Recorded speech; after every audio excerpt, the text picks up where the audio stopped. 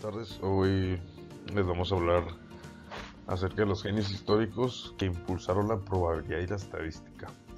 En esta sección vamos a hablar acerca de la probabilidad en específico.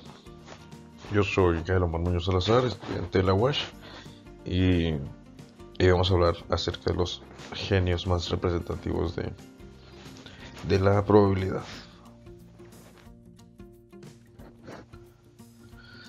Como primero tenemos a Andriy Kolmogorov.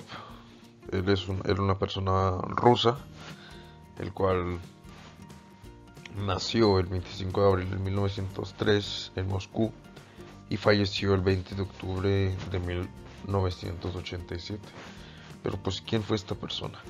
Fue un matemático ruso que realizó aportes de primera línea en los contenidos de teoría de la probabilidad y de topología estructuró el sistema axiomático de la teoría de la probabilidad utilizando el lenguaje de teoría de conjuntos donde los elementos son eventos.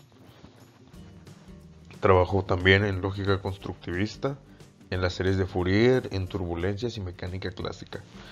También fundó la teoría de la complejidad algorítmica y en 1929, bajo la supervisión del matemático Nikolai Lusin, alcanzó el doctorado en la Universidad Estatal de Moscú. Un gran personaje. Van, a ser aproximadamente tres videos de estos y no el orden no es este no representa quién era mejor o así entonces el orden es aleatorio Aquí también lo que destaca mucho de este, de este personaje fueron su, su gran capacidad de, de, estudio. Tenía muchísimas áreas de estudio, demasiadas. Como cuáles, como la teoría de la probabilidad, la topología, geometría, lógica matemática, mecánica, teoría de la medida, teoría de conjuntos, cálculo diferencial, análisis funcional, filosofía de la matemática, lingüística, lingüística computacional, estadística matemática y obviamente las matemáticas. Aspectos sobresalientes tiene demasiados, intenté poner una forma muy resumida y aún así fueron algunos. Entonces, comenzando, en 1922 publicó sus primeros resultados en la teoría de conjuntos y un año más tarde construyó una serie de Fourier que diverge en casi todas partes obtuvo notable reconocimiento internacional. En ese tiempo decidió dedicar su vida a las matemáticas y publicó ocho trabajos sobre la teoría de la integración, análisis de Fourier y la teoría de probabilidad. En 1929 obtuvo su título de doctor en física y matemáticas de la Universidad Estatal de Moscú. Desde este año y hasta su muerte, Pavel Alexandrov fue su pareja.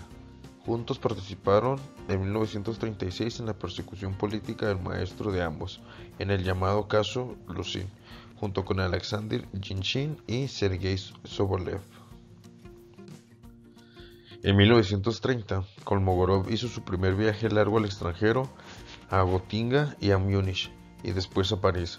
Su trabajo pionero sobre los métodos de análisis de la teoría de la probabilidad se publicó en Alemania en 1931 año en que se convirtió en profesor de la Universidad Estatal de Moscú. En 1933, Komogorov publicó el libro Los Fundamentos de la Teoría de la Probabilidad, en el que establece las bases modernas de la teoría axiomática de la probabilidad y gracias al cual adquirió la reputación como uno de los mayores expertos del mundo.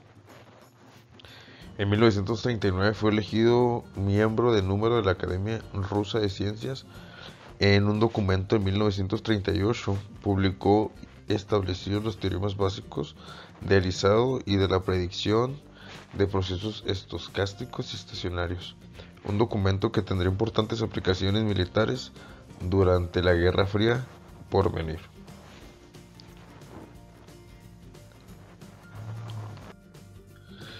Así también tuvo muchos reconocimientos, como por ejemplo que en 1939 fue elegido como miembro de la Academia Rusa de Ciencias.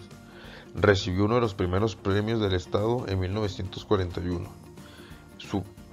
obtuvo el premio Lenin en 1965, Orden de Lenin en seis ocasiones, Medalla de Lobachevsky en 1987 y también fue reconocido por otras academias y sociedades como como la Academia Rumana de Ciencias, la Royal Statistics Society of London, Academia Alemana y todas estas que están aquí, ¿no? La Sociedad Matemática de Londres, o sea, bastantes reconocimientos que estuvo este gran personaje que fue de los precursores.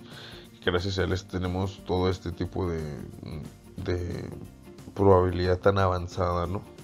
Desde ese tiempo ya traemos unos fundamentos muy, muy sobresalientes. Y esto fue todo. Muchísimas gracias por su atención.